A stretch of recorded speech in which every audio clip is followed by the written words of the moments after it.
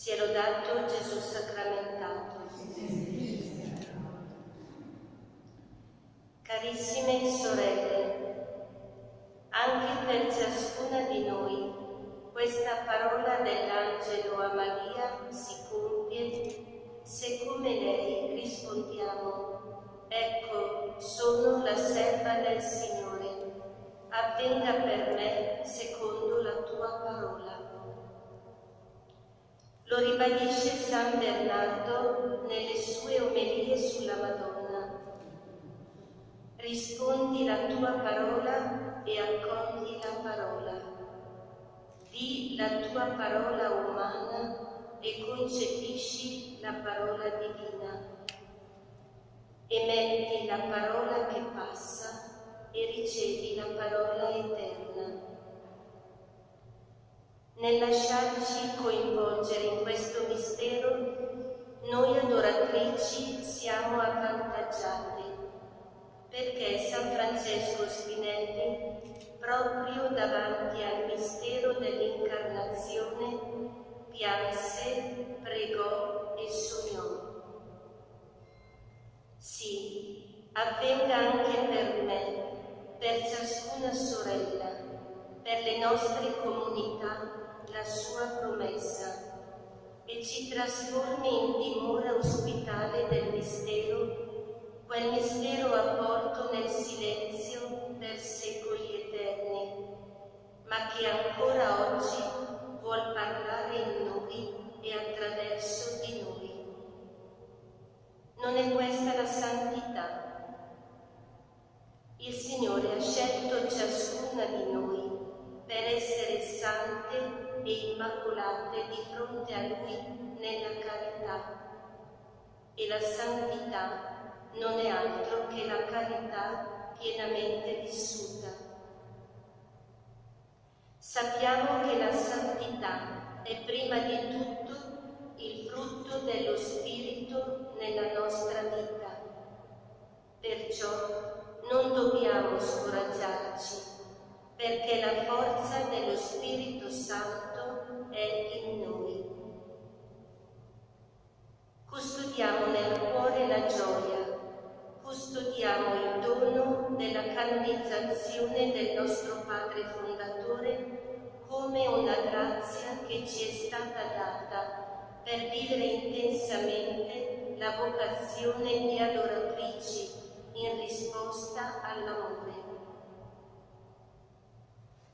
Continua San Bernardo nel testo citato. Non sia che, mentre tu sei titubante, egli passi oltre e tu debba dolente ricominciare a cercare colui che ami. Levati su, corri, apri, levati con la fede, corri con la devozione apri con il tuo assenso. Questo tempo di grazia continua dopo la canonizzazione con la preparazione con l'evento capitolare. Pertanto, oggi vi comunico con gioia e gratitudine al Signore l'indizione del diciassettesimo capitolo generale ordinario del nostro istituto. Rallegriamoci, il Signore è con noi. Vogliamo camminare insieme, diventare sante insieme, portare a compimento insieme l'opera che Dio ha iniziato nel nostro Padre Fondatore? Sì, lo vogliamo. La regola di vita e comunione intrisa di parola di Dio, del Magistero, degli scritti del Padre Fondatore ci è maestra, ci è guida. È l'unico tesoro che può arricchirci per il cielo, l'unico scudo contro le tentazioni, l'unico gioiello da stringere caramente al cuore. Ci aiuti perciò a vivere questo tempo di grazia, guidate da quanto espresso molto bene nei suoi articoli. Finalità del capitolo. Il capitolo generale esercita nell'istituto la suprema autorità a norma delle Costituzioni. È chiamato a discernere alla luce dello Spirito le modalità adeguate per custodire e rendere attuale nelle diverse situazioni storiche e culturali il nostro carisma e patrimonio spirituale. La celebrazione del capitolo generale costituisce un evento di grazia e di azione dello Spirito Santo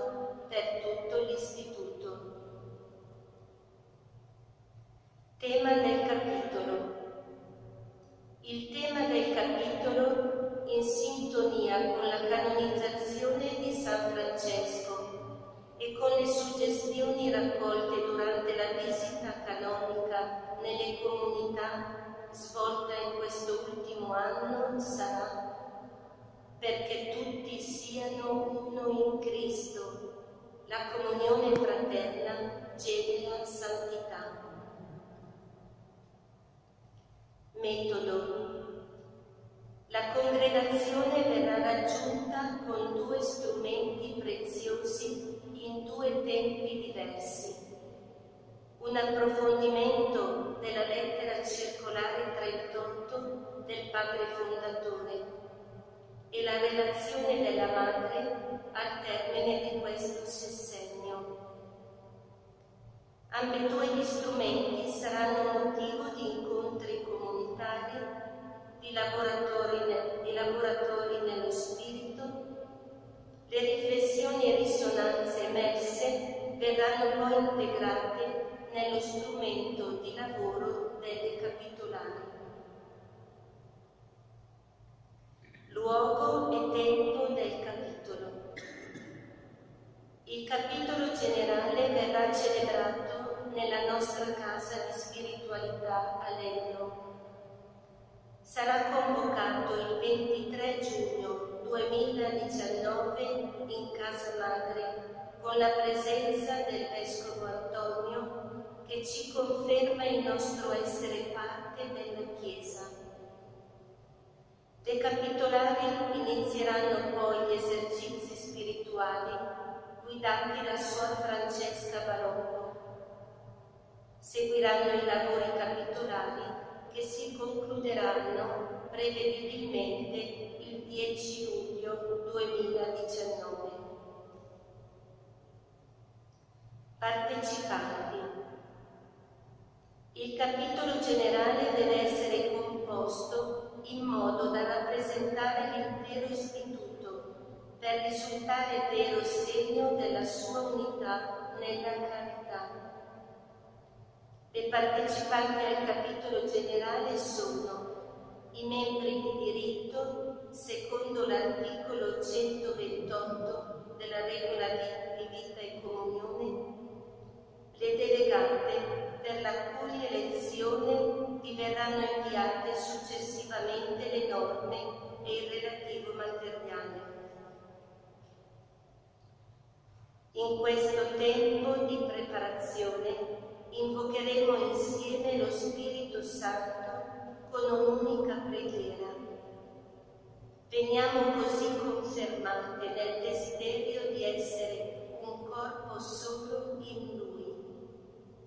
Alla preghiera aggiungiamo poi l'offerta della nostra vita quotidiana, come ci insegna il Cardinale Vantuan.